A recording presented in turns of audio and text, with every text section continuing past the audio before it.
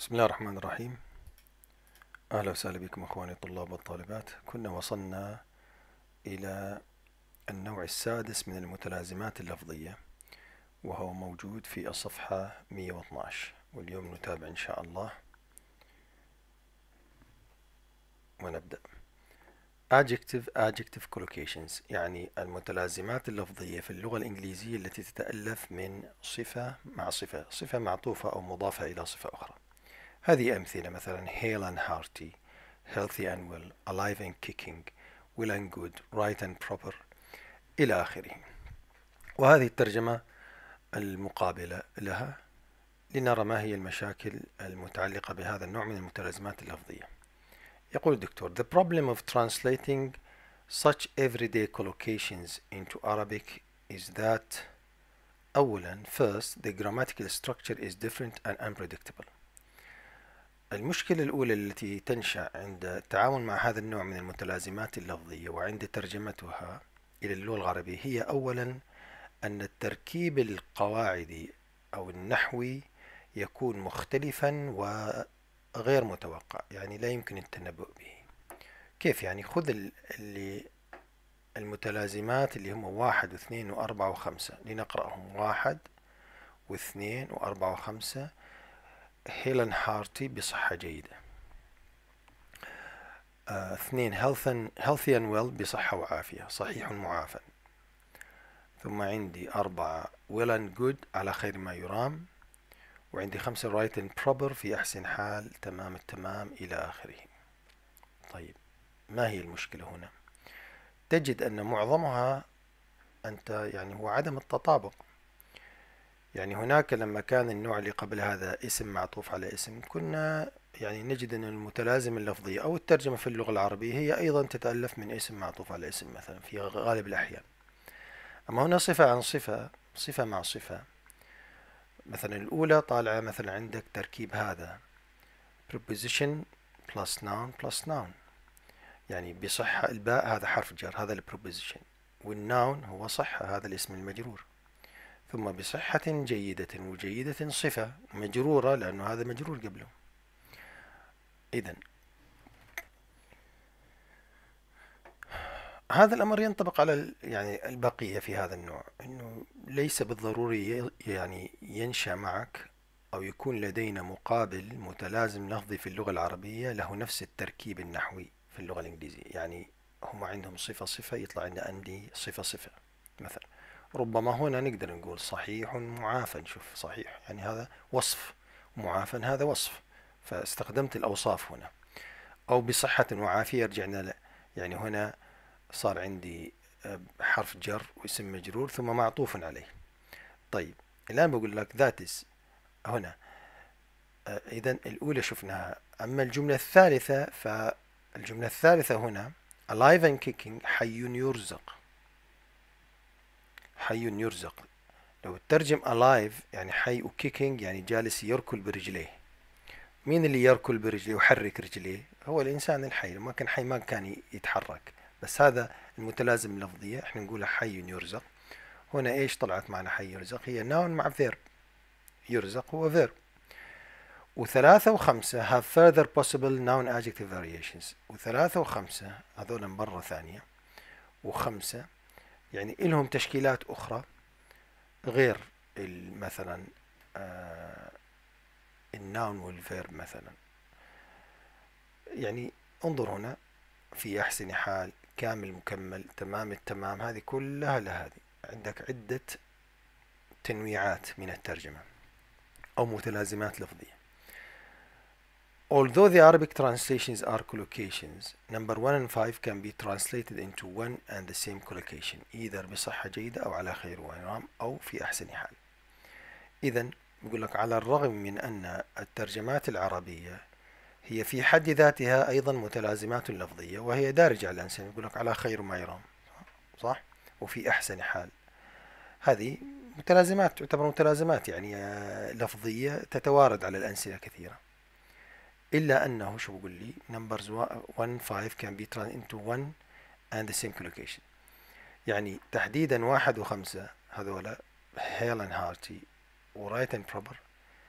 شو يعني هنا هيلين هارتي بصحة جيدة. في عندك آه، ترجمة أخرى غير يعني متلازمة غير هذه؟ ما عندي إلا بصحة جيدة. هكذا. جاية فهي يعني ثابتة. أما هنا البقية فعندك أنت يعني انظر بصحة وعافية صحيح معافى يعني جالس أنت تعطي خيارات. ما يقول هنا الدكتور؟ يقول numbers 1 and 5 can be traced into one and the same collocation. يعني واحد وخمسة.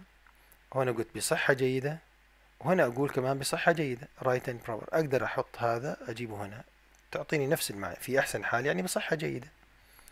طيب. Besides that one word can be enough to translate them. وممكن أنا يعني أقول إنه هنا تستخدم كلمة واحدة. أحيانا البعض مثلا هنا healthy and well بصحة وعافية. طب أقول معافى خلاص. كلمة معافى انتهينا أو سليم. يعني نابت عن المعنى كله. ولكن لما بتترجم بكلمة واحدة but one word is not a collocation ما بصير اسمه متلازمة لفظية يعني اشترطنا المتلازمة اللفظية هي كلمتين فأكثر. ويقول لك لما تترجم بكلمة واحدة تصبح الترجمة أضعف من لما إذا كان عندك متلازمة في اللغة العربية متلازمة لفظية يعني كلمتين مع بعض. يعني هذا رأي الدكتور. These collocations can also be translated into two words each adjective adjective. ممكن أنا كمان أقول صحيح معافى صفة مع صفة. يعني which are, which are not bad بقول يعني كامل مكمل. هي ترجمة ليست سيئة. يعني مدار الكلام إحنا هنا صرنا نكرر كثيرا. يعني هذا هو المفترض يعطينا من نمط وما فيش داعي نعلق عليه كثيرا. لأنه ما ينطبق هنا ينطبق على قبل. هناك متلازمة لفظية ستجدها. وأحيانا يجوز لك أنك تترجم مثلا الترجمة الحرفية. وأحيانا التركيب لا يكون موازي لهذا التركيب. إلى آخره. يعني صار كلام كله تجد مكرر. النوع السابع adverb adverb collocations. الآن ممكن يكون عندي أنا حال مع حال. يعني wholly and heartedly و secretly and publicly و willy nilly هذولا أمثلة على أنه جاي adverb مع adverb وهذه ترجماتهم. The three Arabic translations are collocations. هذولا معتبرات أيضا حسب ما يقول الدكتور إنها متلازمات لفظية. تقول في السر والعلن سر وعلانية صح؟ مو شاء أم أبى. شاء من شاء وأبى من أبى مثلا. رغما عن أنفه صح؟ هذه هكذا تتوارد على الألسنة. But have different grammatical structures. وأيضا شو مشكلتها؟ إنه هذه هنا حال مع حال يعني adverb مع adverb هنا ما عندي adverb مع adverb مثلا بيطلع. ممكن يجي مثلا حال مع حال ممكن ما يجي. مثلا بكل إخلاص هذه إيش؟ جار ومجرور. ومضاف إليه. وهنا جار ومجرور ومعطوف عليه. إذا التراكيب مختلفة ليست بالضرورة أن تكون موازية لها أو مكافئة لها. They are grammatically different from the English collocation. قلنا therefore like those of six above they create a problem to students. ممكن نقول هذا يخلق مشكلة للطلبة. ما عاد يخلق مشكلة للطلبة. المفترض خلص الطالب يبدأ يفهم يعني يخلق لغير الطلبة ولغير المتخصصين في الترجمة أو اللي يدرس علوم الترجمة. لازم يصير الطالب يحط في ذهنه قبل يتعامل مع النص لما يشوف كلمة هكذا كلمات مع بعضها هو يلجأ إلى الترجمة الحرفية بعدين آه، يعني يخ... لازم دائما يخلي على باله قلنا دائما يخطر أو مخلي على بالك إنه قد يكون أنا أتعامل مع متلازمة لفظية فتكون حذر Therefore, like those of six above, they create a problem for to students. However, they are not difficult to understand and translate, for they are not unusual nor idiomatic. يقول لك لكن يبقى صحيح إنه ممكن يكون في مشكلة لكن ليست صعبة إنك تترجمها وتفهمها. يعني هنا secretly and publicly. مش مش مش تلك الصعوبة. ويلي نيلي مثلا؟ ممكن نعم. لكن بس تفتح القاموس القاموس بيعطيك المعنى. ف بناء على سعة اطلاعك يعني أو بالبحث شوي ستجد المتلازمة اللفظية المكافئة في اللغة العربية. وإذا ما وجدت دائما نذهب إلى الترجمة الحرفية المنطقية. ونبذل جهدنا في ذلك. The collocations of 6 and 7 can be described as redundant. Redundant. 6 and 7 can be وين 6 and 7 بيتكلم عنها؟ يعني هذا وجامع هذولا خمسة بعدين قال ستة وسبعة ولا يقصد المتلازمات؟ آه. عفوا. المتلازمات اللفظية من النوعين السادس والسابع ممكن نقول يعني هي فيها نوع من العشوائية. That is the two words of collocation are synonymous and explain each other. مثل two in seven as an exception. هيل يعني heartily و heartly يعني well. Whole holy و heartedly. طيب شو بقول؟ Also they are rare and therefore should not bother the students. بيقول إنه يعني النوعين هذول الأخيرين السادس والسابع من المتلازمات فيها شوي نوع من العشوائية. بمعنى أن الكلمتين في المتلازمة اللفظية قد يكون هنا نفس المترادفات. يعني لما تقول hale heart hale هنا تقول مثلا hale and hearty. لما تبحث عن hale تلاقي معناها هي هارتي بس ليش حاطينهم إحنا؟ هذه اللغة يعني هذه عشوائية اللغة. يعني تحط كلمتين بنفس المعنى مش؟ كان يكفيك تحط كلمة. بس هكذا هكذا اللغة هي من صفات اللغة أنها فعلا أنها في عندك redundancy العشوائية. يعني الوقفية إن صح التعبير أو السماعية. هكذا سمعناها وخلاص ومشينا على الموضوع. إذا قد يكون عندي أيضا holy و heartedly holy و heartedly هم نفس المعنى من حيث الأصل. وهذا لكن يقول لك هذا أمر آه يعني نادر. وهذا أمر نادر ما بتكررش كثيرا طيب. يعني شايف أنا هنا مش جالس أضيف أي إضافات. يعني النص سهل وأنت تقرأ وتفهم الآن. يعني إذا فهمت الأنواع السابقة ستجد الأمور نفسها مكررة. Noun plus verb collocations. الآن الأسماء والأفعال بيكون في عندي تركيب من اسم وفعل. في اللغة الإنجليزية. Bees buzz. Bells ring. أو إلى آخره. Cats mew. ويغلب عليها أنها أسماء لأصوات. لاحظ شلون lions roar زئير الأسود فحيح الأفاعي. تحفظنا هذول كلهم. طيب these collocations are not difficult to translate into collocations in Arabic. ليش؟ لأنه أنت بتكتب مثلا باللغة العربية مثلا تقول ما صوت الأسود؟ ماذا يسمى صوت الأسد؟ يطلع لك يقول لك الزئير. وهكذا. ما هو صوت الذئب؟ العواء.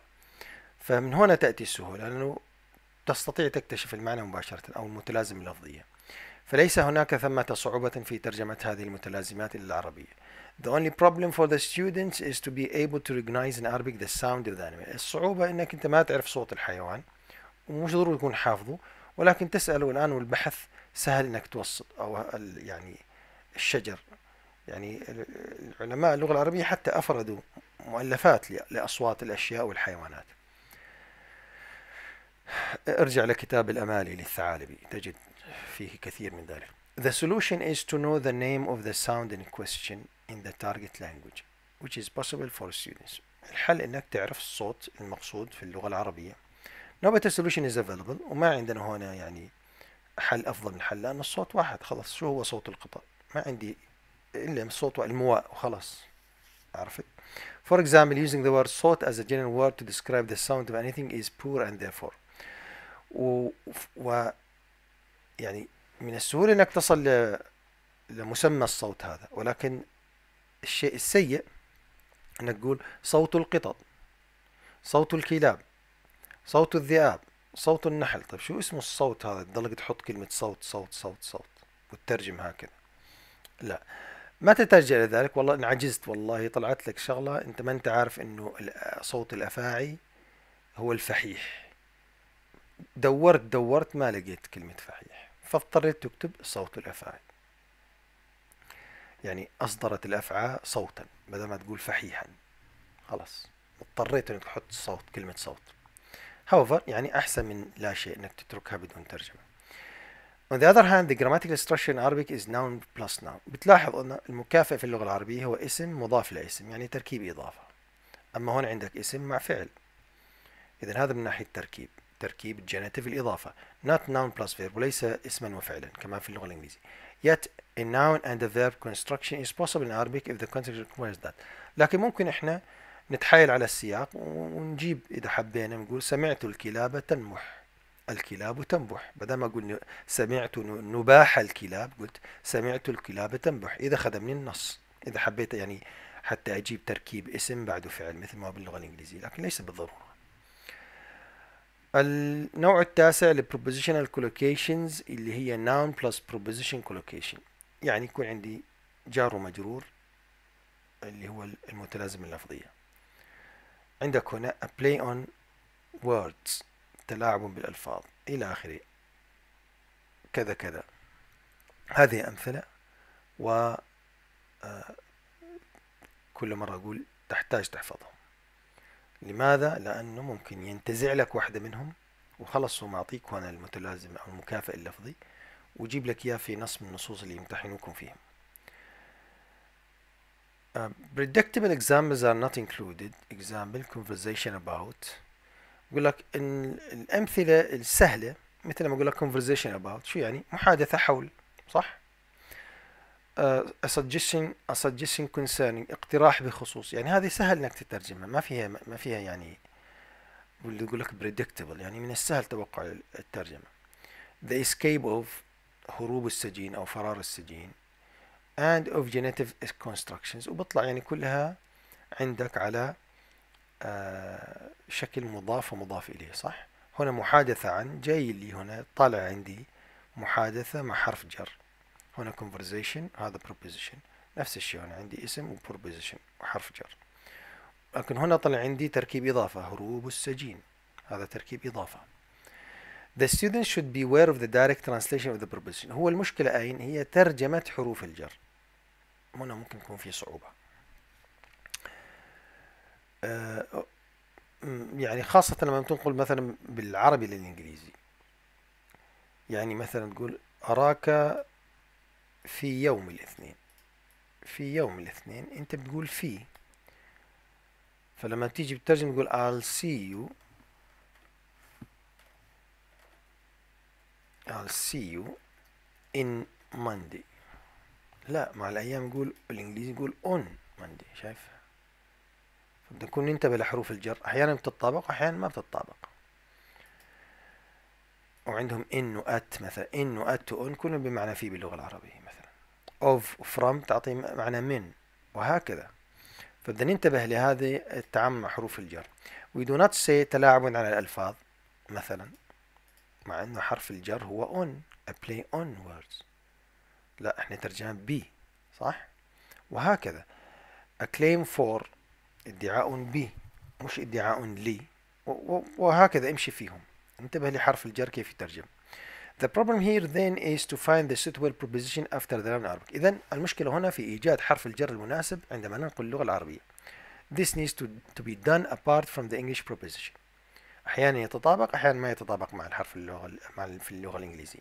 The solution is the students increasing interest in Arabic preposition and their unusual use in the context. شو الحل؟ إنك تعرف استخدام الحروف الجر في اللغة العربية. وكيف يعني معانيها. أيضا تندرج تحت هذه الفقرة أن يأتي عندي preposition plus noun collocations. شو كان عندي هنا الفقرة الأولى noun preposition. شايف noun preposition. الحين ديجي preposition مع عدو noun في اللغة الإنجليزية مثلا by accident بمحض الصدفة uh, under the patronage تحت رعاية سمو كذا وكذا وكذا إلى آخره under the auspices uh, the auspices of on call doctor نقول مين الأون كول اليوم؟ يعني مين الطبيب المناوب؟ call مناوب. وهذه كلها عندك أمثلة. يأتي حرف جر وبعدها اسم. These English collocations are fixed phrases and cannot be translated literally. هنا ما نقدر إحنا معظمها إن لم يكن كلها إنك تترجم حرفيا. يعني under the patronage هنا. ولا on call على الدعوة. ولا على النداء ولا على الواجب. يعني عرفت؟ في في المقدمة على المنبه اللي هي على أهبة السداد ترجم حرفيا يعني في أشياء تقترب من المعنى وفي أشياء تبعد كثيرا من المعنى. إذا هذه fixed ones خلاص هكذا تأخذها. Although many of them are translated into identical Arabic prepositional phrases others are quite unpredictable. بتلاحظ معظمها نفس الشيء. إحنا عندنا حرف جر ثم اسم وبيطلع معك هنا بتجيب أنت مثلا بمحض الصدفة. مثلا على أهو على يعني بتبدأ كمان بحرف جر وبعده اسم نفس الترتيب ونفس التركيب. إلى أنه بقول لك بعضها مش هكذا. مثلا ثلاثة رقم ثلاثة on call. هنا كنت تبدأ بحرف جر أنت بي تحت على في. بدوره بالمقابل على حين غره. لكن هنا ما بديت بحرف جر. طبيب مناوب. وهو يعني فعلا يعني صادمة هذه الترجمة. on call هي طبيب مناوب. يعني on call doctor هو طبيب مناوب. لاحظ Some of the translation in Arabic are well known collocations. مثل واحد وخمسة وعشرة in particular. واحد وخمسة واحد وخمسة وعشرة على حين غر هذه كلها متلازمات. شائعة ذائعة في اللغة العربية. طيب The problem for the students at translating these collocations is to understand them rightly as fixed expression Arabic. أول شيء تحط في ذهنك إنه هذه أشياء هكذا جاية. يعني سماعية وقفية ثابتة تراكيب ثابتة. ما في مجال مصطلحات إن أحببت. The solution is to work harder in order to, uh, to produce good translation in Arabic. كل مرة السولوشن نفس الشيء قاعدين نقول لك. ابذل جهدك مشان توصل لل تجد المكافئ المناسب. Bearing in mind the risk of literal translation وابعد عن الترجمة الحرفية في بعضها ما تيجي مباشرة. يعني هنا ترجمة حرفيا by accident تقول by be ب بإيش؟ بالحادث accident حادث بالحادث ممكن يعني ما تقول بالحادث والله يعني قصدهم كأنه يقول بالصدفة. أما on call مرة بتبعد أنت عن المعنى. فاحذر من الترجمة الحرفية. Usually good translate uh, good dictionaries include such collocations. الآن يعني الآن مع الإنترنت تجد ال collocations هذولا وشرحهم وفي مؤلفات ألفت بس تعرف المعنى حي... حيتداعى إلى ذهنك المكافئ في اللغة العربية. أو إذا ما تداعى إلى ذهنك المكافئ في اللغة العربية من المتلازمات اللفظية على الأقل بتصير يعني ترجمتك أدق وأقرب للصحة. أيضا النوع الثالث المندرج تحت هذا النوع من المتلازمات اللفظية هو ال adjective preposition collocations. يجي عندي adjective مع preposition full of fond of angry at. وهذا يعني مشكلة كمان باللغة الإنجليزية للطلاب إنه يحفظوا كل صفة معها حرف جر مختلف. ما في تنبؤ ما نقدر نتنبأ لازم نلجأ للقاموس دائما. طيب expected combinations like adjacent to inclined to are not included. طيب بعدين نشوف ليش. The problem of translation here lies in the meaning of the preposition which should be translated with extra care by the student. نرجع نفس الموضوع اللي هو الصفة فهمناها هنا مليء. مليء بمن ولا مليء بي مليء بي of صارت بي مع إنه إحنا بنترجمها عادة من. يعني انظر هنا. يعني مصنوع من made of. فهنا of صارت من وهنا of صارت بي وهكذا. هاي المشكلة هي ترجمة ترجعنا المشكلة السابقة إنك تعرف تترجم حرف الجر جيدا. Literal translation of words is again risky. here كمان الترجمة الحرفية يعني ما بتكون جيدة؟ لو هنا تقول مليء من لازم تقول مليء بي هنا مغرم بي مغرم من. لا. The solution is to be on the alert that some of these collocations can be fixed phrases with fixed من نفس الموضوع السابق الحل إنك تعرف إنه هاي يعني ثابتة هكذا الصفة وتشوف شو المقابل لها. In many cases the grammatical construction in Arabic is the same as in English. وبالنسبة للتركيب هو نفس الشيء. عندك صفة ثم حرف جر. هو نفس الشيء. وصف متبوع بحرف جر. التركيب هو واحد. النقطة الرابعة هنا verb preposition collocations. عندي أنا بيأتي عندي verb متبوع بحرف جر. يعني هون ال long مش طويل long بتيجي كفعل يعني يشتاق wait كل هاي أفعال متبوعة بحروف جر. ونفس الموضوع بدنا نقول إنه prepositional verbs like these resist direct translation. وسمتها العامة إنه ترفض أنك شو تترجم ترجمة حرفية. لازم تجيب يعني المقابل الجيد في اللغة العربية. فهنا آه شو بقول لي؟ Verbs like this resist direct translation.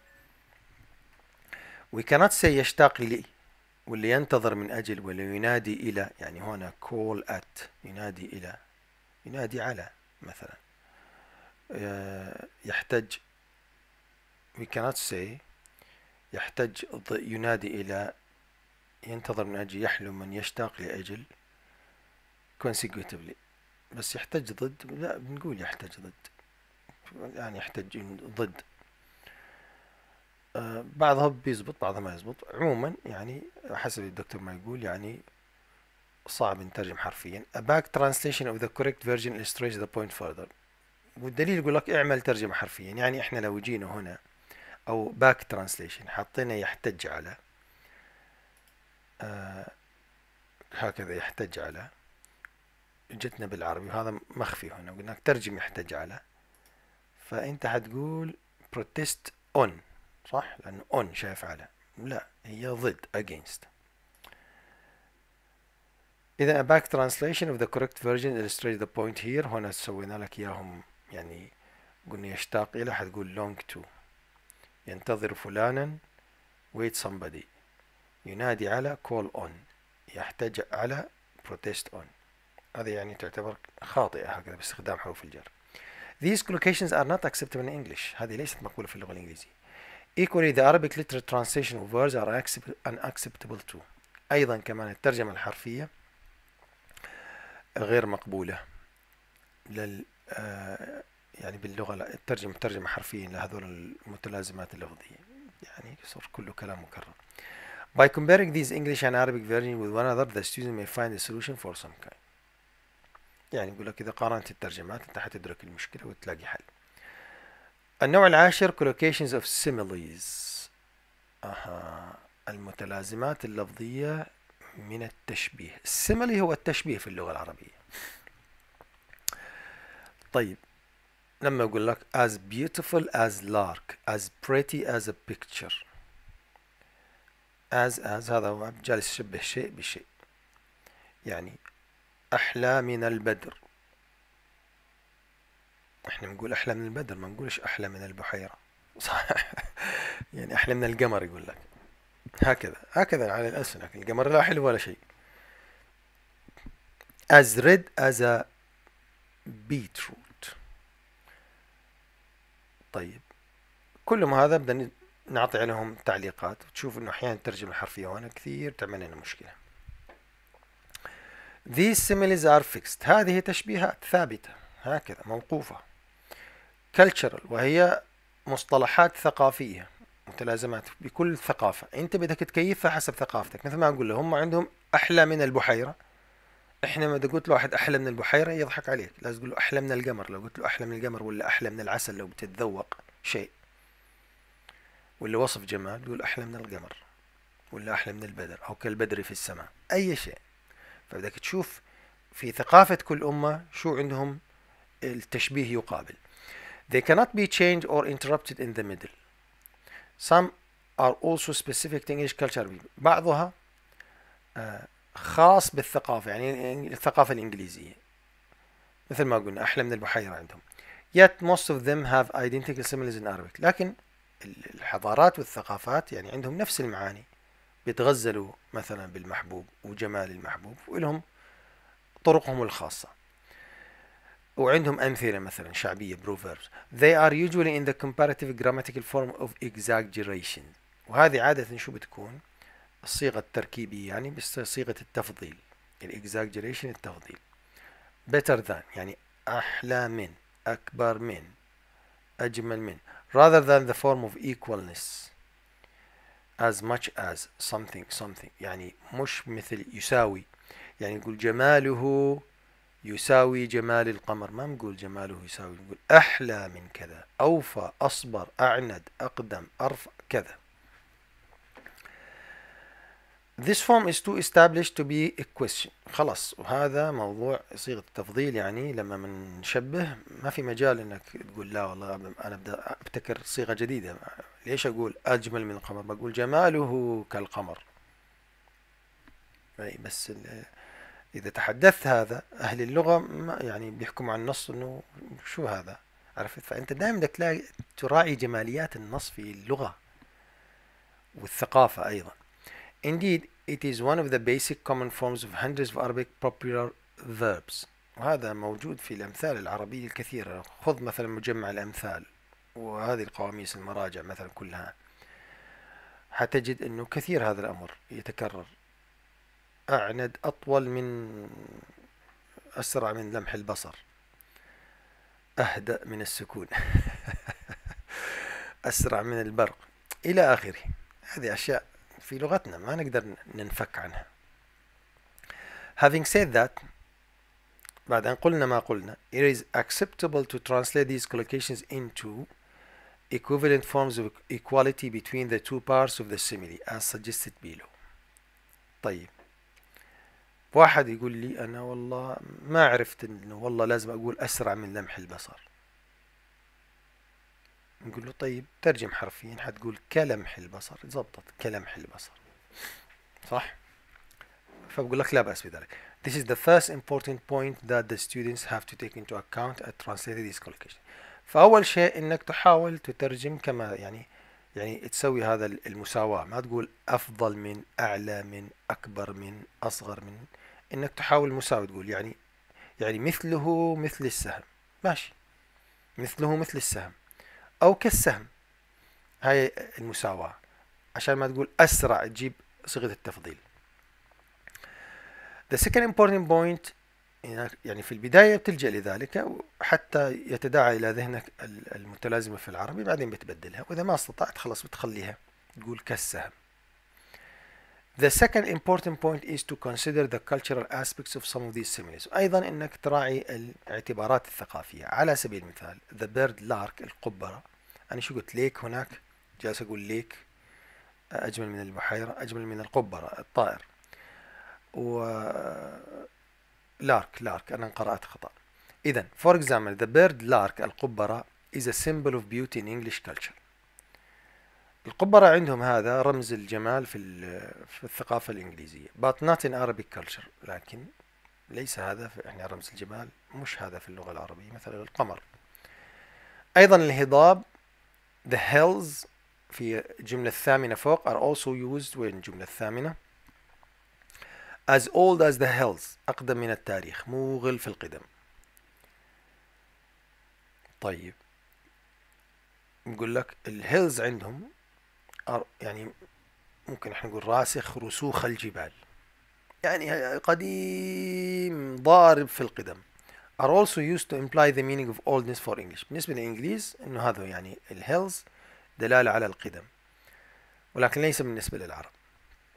إذا هذا الجانب الثقافي. This cultural problem can be beaten by searching for the cultural equivalent simile in Arabic. كيف نتغلب هذه المشكلة؟ أنك تبحث عن التشبيهات في اللغة العربية. فتقول ماذا يقول العرب في الجمال؟ في توصيف الجمال؟ في كذا في كذا. الطالب يصير يعني كما قلنا بصير عنده بعض المراجع اللي يزورها ويبحث عنها. المؤلفات الأدبية في هذا السياق. Regardless of the difference of wording بغض النظر عن اختلاف الكلمات ما يهمنا. والله هو جايب قبرة لازم أنا أجيب قبرة. لا. يعني that is lark is not used in Arabic in this context but words like صورة قمر بدر أحلى من البدر. هو عنده أحلى من القبرة هو حر. إحنا إحنا أحلى من القمر. Therefore we ignore lark altogether and use one of these three words which are equally, equally favorable ولذلك نتغاضى عن استخدام كلمة القبرة ونستخدم كلمة البدر ولا القمر The students are warned against direct translation ولا نترجم ترجمة حرفية هنا or looking for the equivalent word in the same lexical family in Arabic أو تروح تقول يلا شو القبرة هي طير وأقول أحلى من الطيور أو أجيب لي طير ثاني مثلا طير جميل أحلى من الطاووس مثلا إذا كانوا من نفس الفصيلة لا بدك تجيب المصطلح في اللغة العربية المتلازمة في اللغة العربية أو التشبيه في اللغة العربية That is, they might think that lark is a bird used in English to symbolize beauty, so they have to search for the equivalent bird in Arabic that may symbolize beauty like the nightingale al-andalib or the uh, hupu al-hudhud, for example. يعني يقول لك والله أحسن ما أقول أجمل من القبرة القبرة والله من فصيلات الطيور فيها العندليب في الهدد بقول أجمل من العندليب. العندليب يوصف للصوت صوته أجمل من صوت العندليب. أيوة ممكن بس مش جماليا. وكذلك الأمر الهضاب يروح يقول لك يلا الجبال. أقدم من الهضاب نقول أقدم من الجبال. إلى آخره. لا برضو ما ما يعني لم تبلغ آه، النجعة ما وصلت الهدف. The same applies to إلى آخره. هذه كله أمثلة. المهم أنك تبحث عن عن إيش؟ عن المكافئ في اللغة العربية لأنه تشبيه. فتقول في هذه الثقافة بما يشبهون الشخص السريع جدا؟ هكذا. تروح تجيب التشبيه اللي يدل على السرعة. أسرع من آه، من لمح البصر مثلا. ولا نقول أسرع من طائرة الكونكورد وإلى آخره. The students and translators are not required to invent new collocation similes to match the English recent ones. مش مطلوب منك تخترع لنا تشبيه ما استخدمه أحد قبلك. لا إلا ما تجد تشبيه فقط عليك أن تبحث. إذا the solution is to ignore the individuals. ما هو الحل؟ أن تتجاهل الجملة الرئيسية أو الكلمات اللي وردت في هذا هنا وتعرف أنك تتعامل مع تشبيه أو كناية لفظية وتبحث عن مكافئة في اللغة العربية. On the other hand, it is possible to translate them into the same grammatical structure. أيضا التركيب تجد أنه أحيانا التركيب متشابه. يعني صبور كالحمار وفي كالكلب أحمر كالدم أو كالشودر حلو مثل الصورة ماكر ك... إلى آخره فهذا التركيب اللفظي مشابه للتركيب اللفظي في اللغة الإنجليزية طيب رقم واحد عفوا ليس رقم واحد. نتكلم عن كلمة آه، أو مصطلح صبر أيوب اللي هو رقم 14 صبر أيوب اللي هو as آه وين صبر أيوب؟ لا آه 16 Job's patience Job اللي هو أيوب. اسم أيوب باللغة الإنجليزية هو جوب طيب. هذا يقول لك صبر أيوب هو هو قال لك أوف 14 مش 14 16 رقم الجملة يا دكتور. It is a fixed religious untouched phrase. خلاص. يا صبر أيوب بنقول صح. يضرب به المثل. فما بنقدر نيجي إحنا مثلا نتحايل عليها بنقول آه صابر كصبر أيوب هكذا. يعني لا أو مثلا أو أصبر من أيوب. إني أسويها صيغة تفضيل. عفوا. ليش؟ لأنه يعني ما في مجال إنك تتلاعب. هنا مثلا ممكن تقول أحلى من كذا حلو كالعسل مثل السكر. آه اذا نيجي نقول هذه مرنا عليها سريع بدنا نظبطها. آه نقول السابق هنا كنا نترجم هذا الذي فاتنا انه هنا كله بصيغة التفضيل أسرع من البرق أسرع من السماء. يعني كنت يعني أنا ذكرتها سابقا. فمريت عليها بسرعة لكن جيد أن نربط الآن. أنه أنت تقول مثلا أسرع من السه من من البصر أسرع من لمح البصر أو تقول سريع كالبصر. هذا بشو نسميه structure of equality. structure of equality. سريع كالبصر أو تقول أو التفضيل أسرع من البصر يجوز لك الوجهين. بس هنا صبر أيوب ما تقدر تقول أصبر من أيوب لأنه هذه عبارة ثابتة مستقرة. The problem facing the students with these similes is their unawareness of their equivalence in Arabic. نفس الشيء كله أساسا يراح نفس المشكلة عند الطالب. إنه الطالب ما يعرف إنه والله هذا متلازم لفظي أو هذا تشبيه في اللغة الإنجليزية ولازم يشوف شو التشبيه المكافئ في اللغة العربية حسب الثقافة العربية. والحل لذلك إنك يعني تفهم التشبيه ما الغاية من التشبيه ثم تحاول تترجم اللغة العربية تجيب المكافئ أو تترجمه بترجمة مقبولة. بس ما تقول والله أحلى من القبرة. يعني تخترع لك أي شيء يا أخي إذا ما عرفت الشيء إنه والله أحلى من البدر. جميل جدا تقول خلص مثلا. هم تجيب دائما المنطقية في الترجمة. النوع الحادي عشر هو parts of countable nouns أجزاء من الأسماء المعدودة. الأسماء في اللغة الإنجليزية أنت تعرف تنقسم إلى countable و non countable معدود وغير معدود يعني book هذا كتاب. كتاب واحد كتابان ثلاثة كتب أربعة مليون كتاب هذا معدود countable. لكن هير شو تقول؟ شعر واحد شعرين شعرين ثلاثة؟ لا. سكر واحد سكر اثنين؟ لا. تقول قطعة من السكر قطعتين. أما اسم هير وسكر هذا غير معدود. طيب. نيجي هنا. Bouquet of flowers. إحنا نتكلم عن countable nouns. Crowd of people. Flock of sheep. Herd of buffalo. Herd of cattle. طيب بس هذه كل الكلمات هذا الأسماء هذه غير معدودة لهنا إيوه بس هو سواها معدودة لما ضاف زي ما قلنا الآن. سكر غير معدود. لكن تقول قطعة سكر باللغة العربية صرت تعد الآن. قطعة واحدة قطعتان ثلاث قطع نفس الشيء هنا. مثلا uh, a pack of dogs.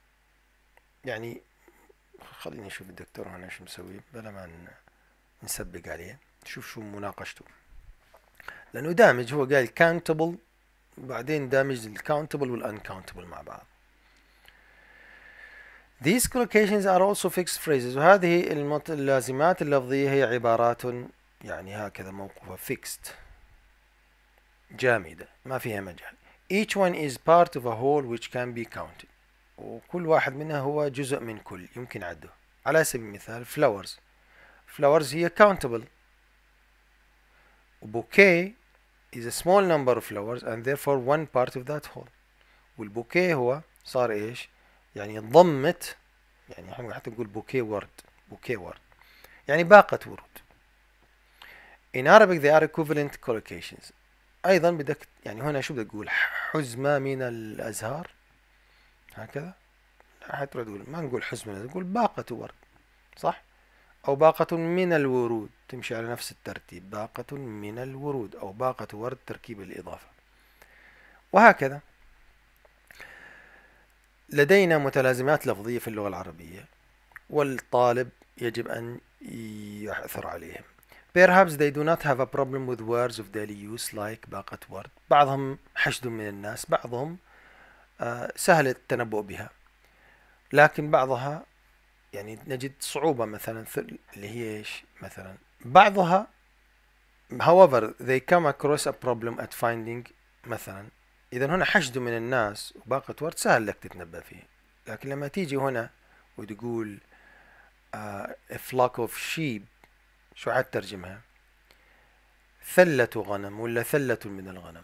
ثلة بالفتحة وعندنا كلمة ثلة بالضمة الثلة للأشخاص الثلة للغنم. هذه ممكن صعبة فعلا والله شلون بدي أعرف الطالب؟ يعني حتى في سورة الواقع الله عز وجل ثلة من الأولين. صح؟ ثلة ثلة. أيضا the same applies to فريق كلاب وقطيع أسود وقطيع حيتان. شو بعرفني؟ ليش ما قلت قطيع كلاب؟ ليش قلت فريق كلاب؟ هذه التصنيفات كلها في اللغة العربية الواحد يرجع للمراجع اللي تتعامل مع هذه التقسيمات. فقه اللغة والأمالي للثعالبي بيتكلم عن هذه الأشياء كثيرا جدا.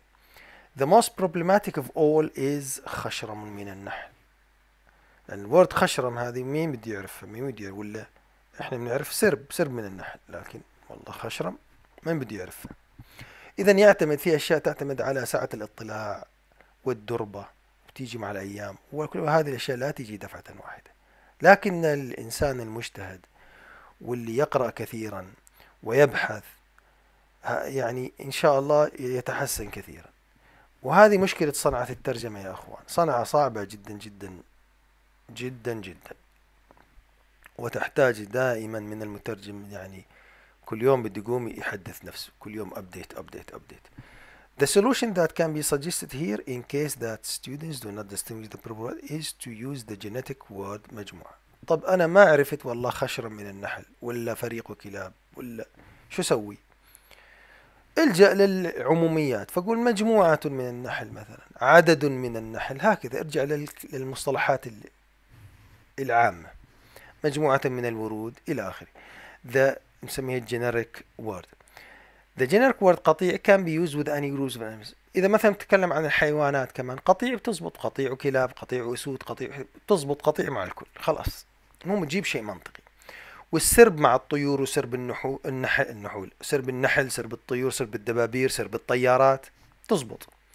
We may also limit the use of مجموعة to any group of people or things ممكن مجموعة نقص كلمة مجموعة نقصرها على الناس والأشياء. مجموعة أشخاص مجموعة من الكتب. مثلا. Thus there is a choice between one on the one hand and two, three, four on the other hand from the following. مثلا الجملة الأولى والجملة اثنين ثلاثة أربعة. شوف الجملة الأولى. Bouquet of words وثلاثة وأربعة flock of sheep وهذا شو الخيارات اللي أنا هنا عندي؟ يقول لك the use of مجموعة عدد to describe part of any countable noun. إذا ممكن أستغني بكلمة مجموعة مجموعة من الورود. وقطيع وسرب ومجموعة للأشخاص. إذا ذكر عفوا. ففي أشياء تنوب عن أشياء. يعني هنا واحدة بقدر أنا أقول مجموعة من الناس مجموعة من الأشخاص قطيع من الماشية قطيع من الجواميس قطيع من الكلاب قطيع من السود ففي شيء ينوب عن شيء. وفي شيء ما تقدر. ما بتقول استربوا من الناس مثلا. طيب. الآن as to the grammatical structure التركيب اللي عم نستخدمه. إحنا قلنا إما بقول noun from noun يعني قطيع من كذا قطيع من الكلاب قطيع noun من from يعني. بس ما بقول from باللغة الإنجليزية. صح صح إحنا بنقول of. بس هو جالس الدكتور يشرح لنا يعني قطيع من كلمة من. أو تركيب الإضافة. نقول قطيع كلاب مثلا آه سرب نحل. فبستخدم تركيب الإضافة. The former is applicable to all. هذا التركيب اللي قطيع من كذا قطيع من الحيتان هذا ينطبق على الكل. و whereas the latter is limited. لكن تركيب الإضافة بيزبط مع بعضهم تقول قطيع من الحيتان قطيع حيتان. لكن حشد من الناس ما بتقدر تقول حشد ناس. ما تزبط. إذا الطالب يعني لديه خيارات هنا يجب أن يتعرف عليها. آخر واحد آخر واحد هو هذا. وثم ال conclusion أيوة مشان نختم بهذا البحث ال conclusion أكثر من ال... والله يا دكتور. كنت ودي أجمعهم في جلسة واحدة. حسنا. آخر نوع من أنواع المتلازمات اللفظية parts of uncountable noun شايف هو هناك كاتب لي parts of countable بعدين جاب لي uncountable طب أنت هون مسوي uncountable يا دكتور. A crowd of people people هذا uncountable sheep uncountable buffalo uncountable لا buffalo herd of buffaloes. مثلا. cattle هو uncountable أما bouquet of flowers flowers هي countable فيعني خالطنا الدنيا هنا. الدكتور حفظه الله. المهم parts of uncountable nouns شوف an act of violence article of clothing information هذا كلها كلها هذه uncountable nouns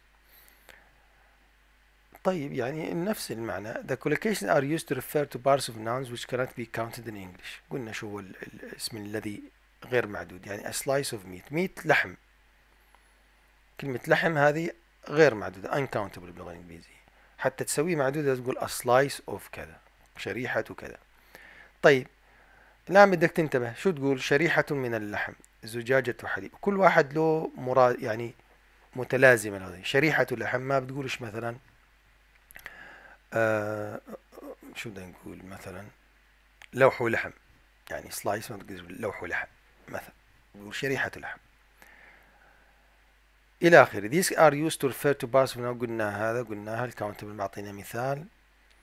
إذا يجب أن أبحث عن المتلازمة. بعضها معروف للطلبة وبعضها يعني مش معروف مثل 11 و 15 شوف 11 و 15 a loaf of bread و slice of meat هذه معروفة شريحة ورغيف خبز أكيد حتقول.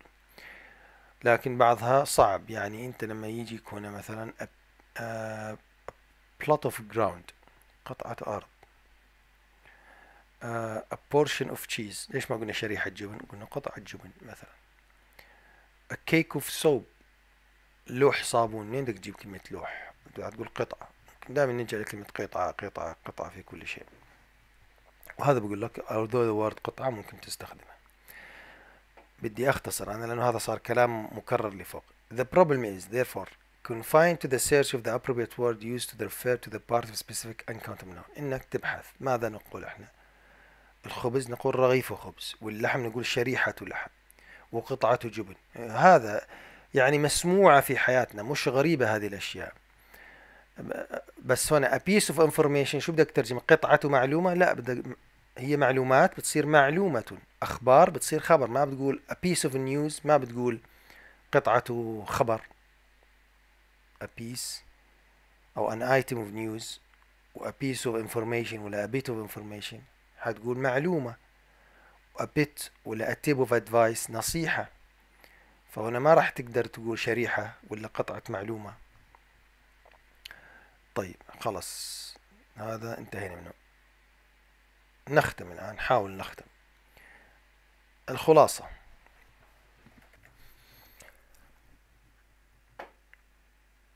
الخلاصة هنا general problems of Quran شو المشاكل العامة اللي مرت معنا من خلال هذا الشرح كله؟ بدنا نرجع يلخص الدكتور. أول شيء The difficulty of generalization صعوبة التعميم لا تعمم Some English words collocate with one and the same word but they are necessarily not so in Arabic في اللغة الإنجليزية قد تجد أنه والله في كلمات تترادف مع كلمات ومع كلمات مختلفة فأنت لا تعمم ذلك على اللغة العربية على سبيل المثال commit a mistake has an identical collocation in Arabic شو هو يرتكب خطأ commit قلت ترجمته شو يرتكب لكن عندهم a murder كمان عندنا بنقول يرتكب جريمة.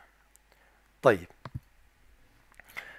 بنقول كذا يرتكب جريمة صح؟ لأنه أنت الآن رأيت ماذا قلت؟ a mistake. فلما ترجمناها بالعربي قلنا يرتكب خطأ. قمت قلت يرتكب ربطت يرتكب ربطت يرتكب بإيش؟ ب commit فلما قالوا commit murder انت جيت قلت يلا خلاص ما إنه يرتكب خطأ خلينا نقول يرتكب جريمة. ماشي. بس إحنا نقول يقترف جريمة يقترف. الآن إحنا من إذا هذا هو التعميم إنه لا نعمم. Not say in Arabic يرتكب انتحارا. يعني هنا مقبولة يرتكب جريمة بنقول بس إحنا كمان بنقول يقترف جريمة. فبنقول والله هذولا مقبولات. لازلنا في دائرة المقبول. طيب الآن لما أجي لهنا أقول commit suicide. ما بقول يرتكب انتحارا شو بقول؟ ينتحر. فأنا يقترف ويرتكب كان يمشي مع بعض مثلا وأحطهم هنا وأحطهم هنا. ممكن يرتقي يقترف خطأ ويرتكب جريمة بس يزبط يعني مقبولات. أما مش مقبول يرتكب انتحار لأنه كوميت ترجمناها مرة يقترف ومرة يرتكب. أقوم يلا أعمم. هذا الشاهد من هذه النقطة. وهنا أيضا عندك بتقول سمين وبدين في اللغة الإنجليزية مثلا بقول لك فات مان وفات ومن فهي رجل سمين ومرأة سمينة. لكن إذا قلت فات سلري وفات بوك شو بتروح تترجم تقول راتب سمين وكتاب سمين؟ لا راتب ضخم. وكتاب سميك مثلا. إذا لا تعمم دائما. وهذه أمثلة كثيرة على ذلك. أخيرا هذه أمثلة مفصلة تعطينا الكلمات يعني كيف يعني آه، تراكيب متلازمات لفظية. وترى كيف إنه الكلمة الواحدة كيف نترجمها بشكل مختلف في اللغة العربية. ف bright beauty و bright child و bright bright bright bright bright. bright مشرق مثلا. في اللغة العربية جمال متألق. يعني فتان أخاذ. ما بتقوليش طفل مشرق طفل ذكي. ما تقولش ألوان مشرقة تقول ألوان زاهية. وهكذا. بدك تحفظهم. إذا بدك تصير مترجم لازم تحفظها وتثري مفرداتك. إذا هذا المثال الطويل يثبت بما لا يدع مجالا بالشك أن كلمة برايت التي لها استخدامات يعني هو متلازمات لفظية كثيرة في اللغة الإنجليزية ترجمتها مختلفة في اللغة العربية. ولذلك extra caution is therefore لذلك يتطلب الحذر من جانب الطالب. Fortunately these collocations can be found in good dictionaries. أرجع للمورد القريب مثلا لمنير البعلبكي وتجد كثيرا منها. Thus the students of translation cannot generalize about the meaning. إذا لا تعمم إذا والله هناك شفت يرتكب فكل شيء تصير كوميت يرتكب يصير كله يرتكب يرتكب يرتكب. تزبط مع يرتكب خطأ يرتكب جريمة بس مش يرتكب انتحار. It can be different from one collocation to another and from one language to another. إذا فرغنا من هذه النقطة. أيضا variability variability of collocations التنوع. Different collocations for the same meaning can exist in English. إنه نفس المعنى في له متلازمات لفظية كثيرة. تقول commit mistake وعندك make mistake وكلاهما بتقول يرتكب ويقترف خطأ يجوز. go on a visit و pay a visit إلى آخره hard task daunting task إذا نفس المعنى لكن بمتلازمتين لفظيتين مختلفتين. Usually these equivalent collocations have one and the same translation Arabic. إحنا شو؟ مش ضروري أجيب والله. إذا هون عندي بقول لي commit a mistake أو هون مثلا hard task و daunting task. أشوف هنا والله مرة daunting مرة hard. أقول هنا ترجمه هذه مهمة شاقة وهنا أروح أجيب لي لازم أخترع ترجمه لا هي شاقة خلاص. شاقة daunting وهارد هي شاقة. فليس مطلوب مني آه إني والله أبتدع آه متلازمه لفظيه جديده لأن والله غيرها هو. لا مش مش ضروري أعمل ذلك. Yet if there are equivalent in, in, in Arabic they can give them. إذا بتلاقي يعني والله إذا حصلت مثلا عندك مهمة شاقة ومهمة صعبة مثلا حبيت تغير ما ما عندك مشكلة يعني بس ما فيش داعي للتكلف. يعني deep sleep نوم عميق. و heavy sleep بقدر أقول نوم عميق وبقدر أقول نوم ثقيل. و sound sleep كمان بقول نوم عميق. واذا حبيت تقول سبات ما عندك مشكله إذا عندك خيارات تبدل ما عندك مشكلة. بس لو أنت تقول كلهم بدك تترجمهم نوم عميق ما حدا بيقول لك ليش لأنه كلهم يؤدوا نفس المعنى. أيضا مرونة flexibility of collocations. إذا any version Arabic يعني أي واحد من هذول تزبط. الآن flexibility of collocations المرونة في المتلازمات اللفظية. Sometimes of collocations are flexible. بعض المتلازمات تتسم بالمرونة. That is they can be interrupted عفوا. آه أيوه interrupted. In the middle by a word. يعني إنك تفصلهم بكلمة في الوسط. خاصة لو جاء عندك adjective مع أو adjective و adverb. يعني في في في المتلازم اللفظية. يعني شلون؟ black market.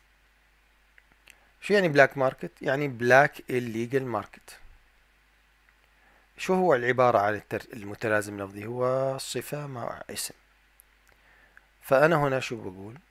سوق سوداء غير مشروع. إذا ماذا ما الذي فعلته؟ يعني هنا دخلت كلمة بين الكلمتين عشان أزيد المعنى توضيحا. يعني exert an effort exert a great effort يبذل جهدا عظيما. فأنت هنا ماذا تفعل؟ إنه في مرونة يعني إنك تدخل كلام في الوسط وتوضح هذا النص اللي بالترجمة انظر هنا noun مع noun مثلا association of ideas. تقول مثلا تدعي, تداعي الأفكار أو تداعي بعض الأفكار. بدخل كلام في الوسط يعني كلمة some great. يعني هذا هنا في مرونة بال أنه يجوز إدخال كلمات في الوسط. وهذه أمثلة على ذلك. لكن بعضها ما تقدر. مثل يعني هنا ال noun noun collocation noun and noun collocation اللي درسناهم هذولا بعضهم ما نقدر ندخل كلمة في الوسط. يصير آه يعني ما تقدر خلاص بس بكل سهولة ما نقدر. yet the remaining types of collocation are fixed inflexible and cannot be interrupted in the middle. يعني لما يجيك noun مع noun collocation. آه مثل شو كان عندنا مثلا؟ Day and night. Day and night. وش بدك الكلمة تحطها؟ ما تقدر تحط كلمة هنا في الوسط. ما تقدر. أما هناك يعني التراكيب السابقة يعني اللي من هذا النوع verb مع preposition noun مع verb noun مع noun. Noun مع noun اللي هو ال genitive collocation يعني association of ideas. أما العطف اللي أنا جبته day and day هذا ال addition day and night هذا اسمه العطف ال addition. فهنا قبلت هذاك ما قبل. عموما الإنسان بيطور إحساس يعني هو يتعامل مع النصوص. يعني إحنا كلامنا موجه للطلاب الترجمة اللي يتعاملون مع النصوص. آه واحد آخر لو يسمع هذا الكلام تبعي يقول لي كيف؟ كل شيء راح يقول لك كيف كيف لأن أنت مش مختص أنت مش شغلتك النصوص.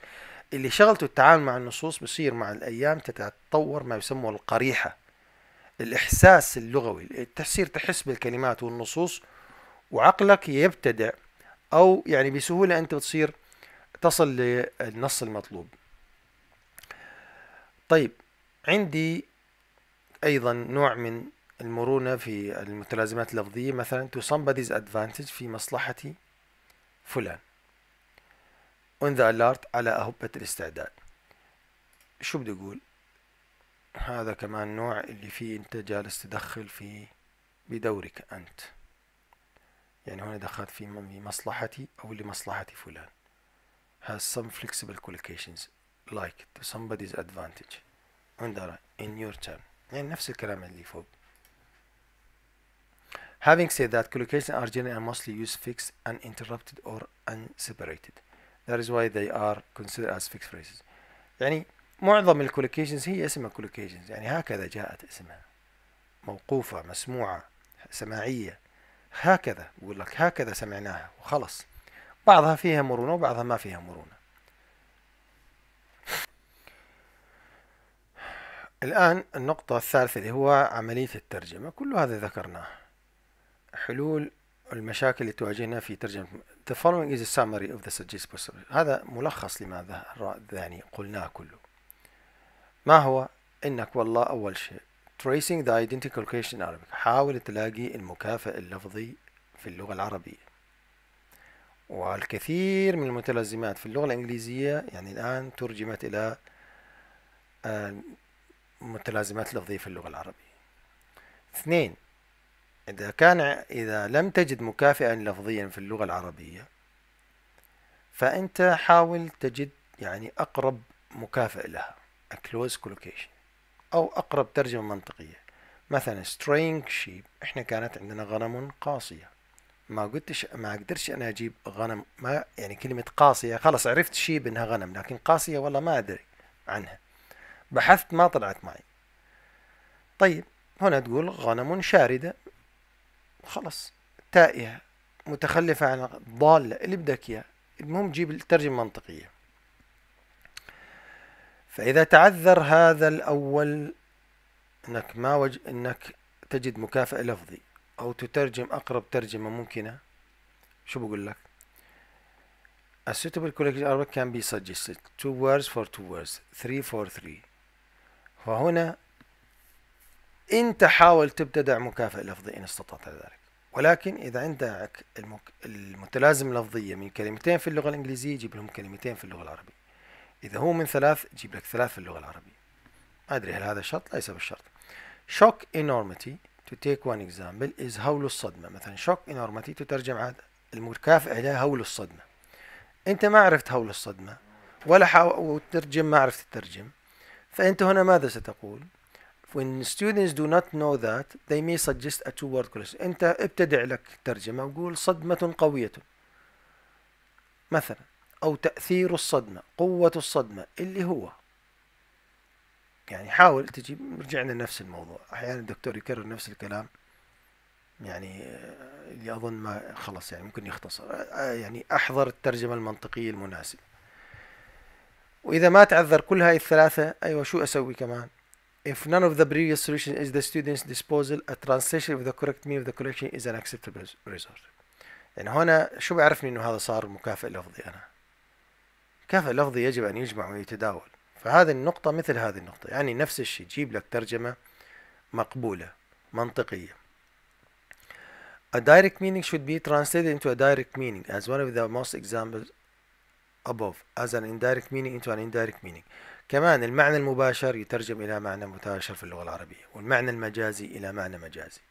وهكذا قدر المستطاع.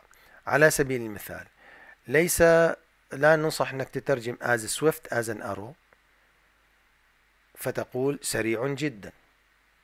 يعني a direct meaning should be translated into a direct meaning. المعنى المباشر يترجم في المعنى المباشر والمعنى غير المباشر إلى معنى غير مباشر. يعني هو بقول لي as swift as an arrow. انت شو بتفهم؟ سريع كالسهم. خلاص بتقول سريع كالسهم. بس لا تقول سريع جدا لأنه هنا الآن انت لأنه لو كان يبغى يقول سريع جدا كان قال لك very fast. صح؟ فأنت لماذا هو قال as swift as an arrow لأنه بده يخلق صورة. لا تخرب له هاي الصورة. قول سريع كالسهم يا أخي. إذا ما عرفت إنه والله أسرع من لمح البصر. بس لا تروح تقول سريع جدا إلا في أضيق الأحوال لو أغلق عليك. أيضا in the English collocation is colloquial. It can be rendered into colloquial إذا كان المتلازمة اللفظية في اللغة الإنجليزية هي من الاستخدام العامي حاول تجيب أيضا يعني هاي نقطة مفيدة. تجيب استخدام عامي في اللغة العربية إن وجدت. لكن اللغة الفصحى هو الأفضل دائما لأنك بتترجم. على سبيل المثال smashing victory هو مصنف إنه والله تركيب عامي في اللغة الإنجليزية. فأنت لو استطعت تقول انتصار هايل ولا انتصار كبير كبير كبير طبعا وتحطه يعني هكذا بين قوسين باللغة العربية عشان يعني آه لأنه هذا النص ليش جاب مثلا عامية لأنه جزء يعني واحد عامي يتكلم فأنت بدك تحافظ على روح النص. ولكن لو قلت انتصار ساحق كمان مقبول ما عندك مشكلة حسب الجمهور يعني. وأيضا إذا كان والعكس صحيح إذا كان المصطلح هو فصيح جدا في اللغة الإنجليزية فابحث عن شيء فصيح جدا في اللغة العربية. وإذا لم يتسنى ذلك فيعني روح على إيش؟ على العامي أو روح على الترجمة الحرفية. أيضا هنا المتلازمات اللفظية الجامدة ال fixed collocations مثل التشبيهات. ذكرنا الآن ماذا قلنا؟ يعني أنك تجيب بصيغة المبالغة أسرع من أقوى من أعند من إلى آخره. أو تجيب صيغة المساواة. عنيد ككذا سريع كالسهم أو أسرع من. يعني لك خيارات. وإذا لم تستطع أيضا وإذا لم تستطع أن تجد حلا لترجمة هذه المتلازمات ففي كل أحوال الطالب يجب أن يتجنب الترجمة العمياء الحرفية للغة الإنجليزية. ودائما أن يحصل على ترجمة منطقية. هذا ما يريده هنا. يعني كلام جالس نحن نكرر نفسنا. يعني hard currency مثلا عملة صعبة. هذا الترجمة حقها. hard لها ترجمة إنه قاسي ما تقول عملة قاسية. يعني أنت اسأل نفسك لو واحد أنت نفسك لو سمحت واحد يقول لك معك عملة قاسية؟ في عملة قاسية وعملة طرية أساسا يعني مثلا؟ لا فبدك دائما أنت تسأل إنه في منطق وراء هذا الكلام ولا ما في منطق؟ إلى آخره. برين درين قلنا هذا الكلام. يعني صفى كله بدي هنا. بعض المتلازمات ممكن أن تترجم إلى بطريقة مباشرة ولكن تكون ضعيفة الترجمة. لكن الطلاب يجب أن يكونوا حذرين وأن يرفضوا الاستسلام لفقط مجرد أني أترجم وأخلص النص. رجعنا نقول يعني يعني ممكن في لا يخرج من يدك شيء غير منطقي. مهما فعلت لا يعني إذا يقرأ واحد النص يجلس يضحك. لا تفعل ذلك. ابذل مجهود حتى لو إنه تحذف النص وتتركه. يعني انقصه من ال من ال من النص الأساسي. لكن لا تضع شيء لا تخالف المنطق. ابدا. يعني أنت في الاختبار ما عرفت. أنا أقول لك. وإذا جيت تترجم حرفيا طلعت تترجم مضحكة وأنت عارف إنها مضحكة لا تحطها. امسحها خلي الدكتور والله نسي يقول نسي إنه يترجمها مثلا. أو أسقطها عمدا لأنه ما عرف كويس. أحسن ما يحط لي شيء أقعد أضحك عليه. ولا أرتكب ما خطأ فظيع جدا. بشكل عام the Arabic translation we insist as much as هذول ال ال الوصايا. المرونة وال يعني راعي موضوع جمود المصطلحات ويكون عندك مرونة. والتركيب النحوي اللغوي والمباشرة وغير المباشرة والوضوح وعدم الوضوح والفصحى والعامية والبساطة والتعقيد والسياق والمألوف والغريب إلى آخره هذه كل الأشياء Yet if students think that for good reason concerning the nature of Arabic such as the difference between the word order of the adjective they cannot meet one or more of these points they may simply overcome them إذا هذه الأشياء بدك تراعيها كلها ولكن أحيانا في أشياء مثلا يستدعي التركيب مثلا إنه والله أغير فيه في في العربي ما عندك مشكلة لك ممكن يعني أن تسقط هذه الأشياء أخيرا The rapidly growing interest in the translation collocation and translation studies is due to their special importance in language. هناك اهتمام شديد متنامي في موضوع ترجمة المتلازمات اللفظية وجانب عويص من جوانب اللغة. They play a vital role in the coherence of the structure. نعرف أن هذه المتلازمات اللفظية تلعب دورا هاما في ترابط النص وجمالياته. They are also the source of its attraction. إذا هو من جاذبية النص and special favor تعطي رونقا خاصا وجمالا خاصا وبلاغيا وأكثر فعالية يعني وتعطي قوة للنص لذلك the translation of collocations is an everlasting struggle هو يعني معركة أبدية بين المترجم والنص. كيف؟ لمطابقة أفضل هذه المتلازمات اللفظية مع مكافئاتها في اللغة العربية. يعني يكون عندك الاسم مع الاسم والفعل مع الفعل وال وإذا هو مثل شعبي مع مثل شعبي وإذا مصطلح مع مصطلح إلى آخره وإذا هو صفة مع صفة وإذا هذا صراع دائما. لكن طلاب الترجمة مطلوب منهم أنهم يتحلوا بالصبر. والحذر والدقة وأن يكونوا حساسين جدا لهذا النوع من النصوص وهذه العبارات. They are advised to do their best وأن يبذلوا وسعهم لإيجاد المكافئ اللفظي في اللغة العربية. إذا ما تسنى ذلك. فبدون المتلازمات اللفظية their Arabic translation would seem poor. فاللغة العربية أو النص العربي سوف يبدو هزيلا بورر ضعيفا ويعني أقل جودة وجمالا من النص الأصلي وهذا جزء من مهمتك كمترجم أنك تحاول ليس فقط تنقل النص بل جمال وروح النص أيضا وجمالياته كله أيضا نحاول ننقلها بما يتوافق وقواعد اللغة العربية. حلو. الآن انتهينا من فقرة الكولوكيشنز. الأشياء الأخيرة يعني هذه مرينا عليها بسرعة لأنه كلها يعني أثناء الشرح قد مرينا عليها وهذا الدكتور يعني منهجه أنه دائما يلخص كل اللي راح. بذلك نكون أنهينا فقرة أو جزء الخاص بالمتلازمات اللفظية. حتى ألقاكم في في تسجيل جديد. إلى ذلك الحين أتمنى لكم التوفيق. والسلام عليكم.